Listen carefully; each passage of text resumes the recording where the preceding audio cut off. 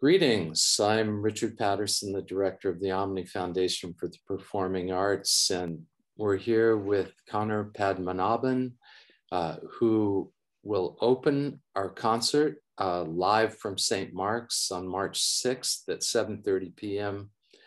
And uh, it is the 40th anniversary season for for the Omni Foundation. And you can get all the information about the concert, how to view it for free from our website, which is omniconcerts.com. And just look for the Live from St. Mark's series.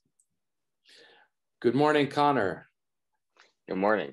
Uh, I, I just, I'm really well. How are you? I'm great. Good. Great. Hey, I just want to thank you uh, so much for for joining me this morning and uh, for participating in, in this concert, which uh, you'll be playing along with uh, T.Y. Zhang, the great Chinese guitarist, and uh, Strauss Shi, wonderful violinist. Um, you'll be opening for them. Um, what pieces will you be playing?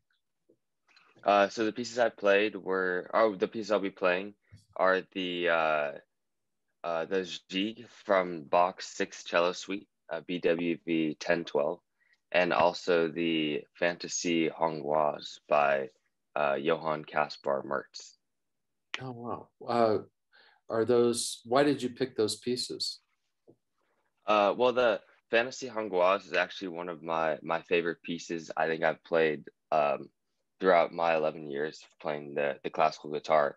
Oh. It's, uh, it's a piece that really um, has a lot of power to it, and um, it's it's just one of those pieces that's like really fun to play.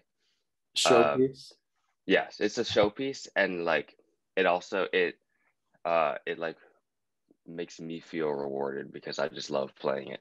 Oh, great. Uh, and then the G is like a, a, little short movement, the last movement from the 1012. So it's just a nice short um, little dance. And this is also a piece that I think is just really fun to play uh, and I I really enjoy playing it. Mm-hmm. Uh, that's that's nice. How uh, do you have a large repertoire? Uh, yeah, I play a very like wide range of, of pieces. I I've played some Renaissance, and then I play lots of Baroque, lots uh mo- mostly Bach, uh, mm-hmm. and then uh. I play a lot of contemporary music also. For example, Shard by Elliott Carter, and uh, some of the Nocturnal by Benjamin Britten. Uh, my teacher and I really love working on uh, those types of pieces, which are like really abstract and require a lot of a lot of like thought to be put into them. Uh, just um, for how how do you study? Um, do you do you have lessons regularly or? Yeah, yeah. So uh, I go to the San Francisco Conservatory of Music pre-college division, where I uh, I study have private lessons every week, every Saturday, with my teacher uh, Scott Cmiel. Mm-hmm. And uh, before COVID, we all, we had uh, an in-person quartet every week too, which was really fun. You get to like really know the other three guys and and just um, mm-hmm. you know work on music together. And Scott was was our coach for that too. But mm-hmm. now uh, we do everything over Zoom. So the lessons over Zoom, that's not that bad. But the the um, quartet over Zoom can get a little challenging sometimes because you can't hear other people uh-huh. and you uh-huh. kind of lose some of that like ensemble factor in it, like the playing right. together part. Yeah. Um, did did you have you ever played for the Omni Foundation before? Did you play with the uh, one time? No, I'm pretty sure that was my brother. Uh, I, oh, I don't. Yeah, huh. yeah, yeah. My brother. Uh, he's. I think he's played for the Omni Foundation before. Okay, so uh, while what guitar will you be using? Because I see you have two or three guitars in the background there. Oh yeah. So these, I I won't be using these for the performance tonight. These are. Uh, this is an electric guitar. Yeah. It's like a Squier Telecaster. I just broke one of the strings last night on accident. Uh, and then that is uh, an acoustic, uh, like a steel string acoustic guitar. Uh, neither of these, nice. I, neither of these I can really play classical music on. Sure. But, uh, but uh, what I'll be using tonight is this. Uh, Uh-huh. it's a 20, 2012 Glenn Canin. Uh, Glenn Canin's the luthier up in Marin County. uh-huh. And uh, I got this guitar off of Robert Miller, who's another guitarist in the uh, in the South Bay.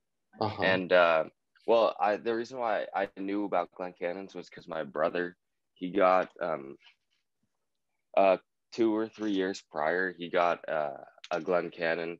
I think he got his from Marc Teicholz, who's also a really well known guitarist too. Um, and and I played it, of course, because I mean it, the guitar's in the house, so I'm gonna play it. And then I just I really liked the the warmth and and the the volume especially uh-huh. that that that Glenn Canins just make. And his isn't um, a double top guitar, uh-huh. which means that um, like there's two layers of wood on the top. Yeah. But his, his Glenn Canins are actually known for uh, like producing double top like sounds, but without actually having a double top. So, but this thing, this guitar actually is a double top, so it's even like louder than Oh, than it is. so Yeah, it yeah. is a double top with cedar on the top and spruce underneath, or uh you're not sure. I actually don't know. I all I know I no I'm pretty sure the back and sides are are Indian rosewood. rosewood, yeah. But Yeah, that- yeah. if it is, well, what I was wondering is what year was that guitar made?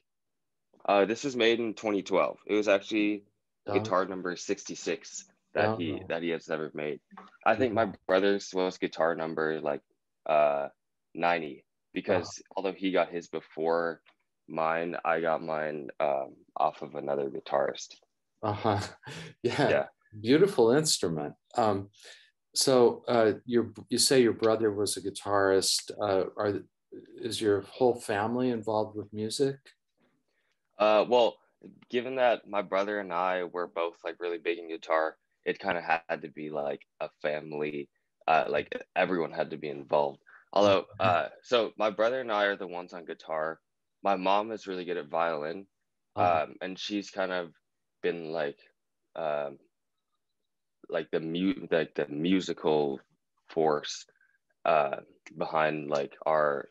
And she like sometimes gives us advice at home. She like uh-huh. hears us playing she's like oh wait maybe you should maybe are you sure that's right um and then my dad's just he's um, been there this whole time he's been extremely supportive he he he comes to everything and um i yeah i couldn't i couldn't ask for more more supportive parents Yeah.